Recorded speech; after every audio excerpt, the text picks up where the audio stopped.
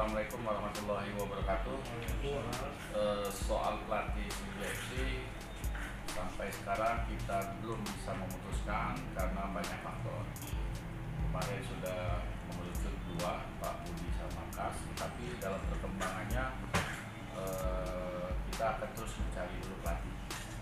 Ada dua pelatih yang inceran kita, satu ada pelatih yang dari Eropa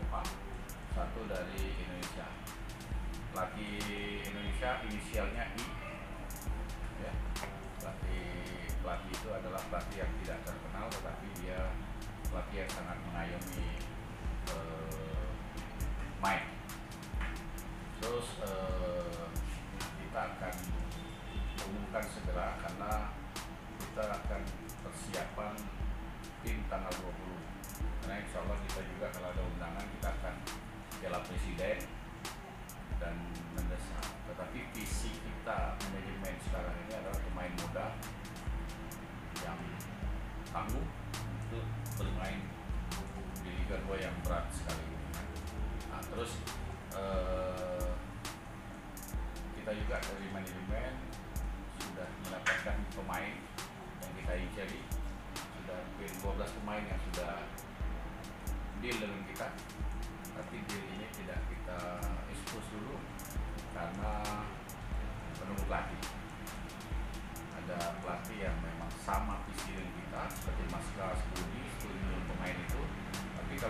baru dua ini belum tentu setuju tapi yang masih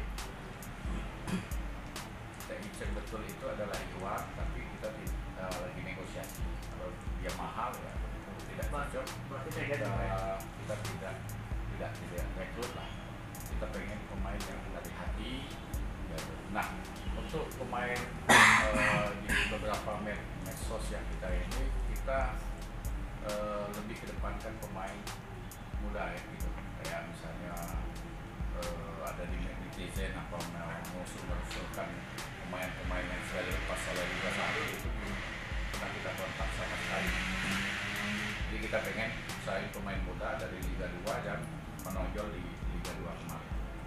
Karena kita ingin punya pelatih yang bisa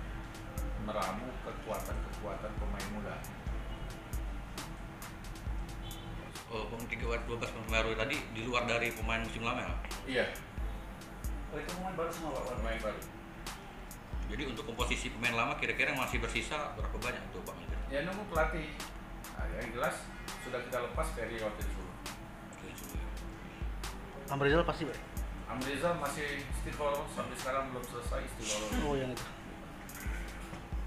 Iwan tadi intinya minta naik gaji waktu itu. belum tahu nanti kayak nanti kita akan panggil setelah saya selesai urusan koni ini akan kita panggil untuk negosiasi Artinya selain Ikhwan eh, pemain lama eh, posisinya eh, tidak ada yang aman gitu ya? iyalah belum aman lah tergantung pelatih kan Kalau Rogo dilepas Pak kayaknya.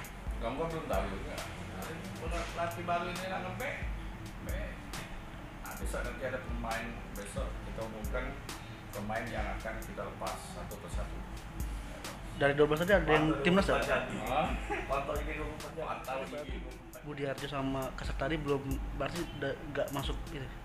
Kan tetap dia masuk, Tetap masuk. nominasi, tapi kita tetap nambah dulu Mau nambah. sehingga eh, kita dapat pelatih ini yang kita inginkan.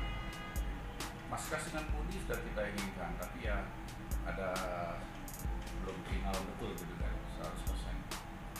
Berarti ada kemungkinan dipanggil Pak. Jadi kayak kemarin PKM Bapak Presiden. Tergantung. Kalau memang dia cocok, skenario kita cocok, nggak perlu lagi. Terutama yang ini lagi, kita tahu betul i Finalisasinya mungkin kapan Pak? Kira-kira Ah. finalisasi dari nama-nama pelatih yang udah fix nanti dua hari ini lah Dua hari. mudah-mudahan kalau tidak ada halangan negosiasi semua selesai kita umumkan tapi kalau belum tambah lagi dua kali dua empat jam lagi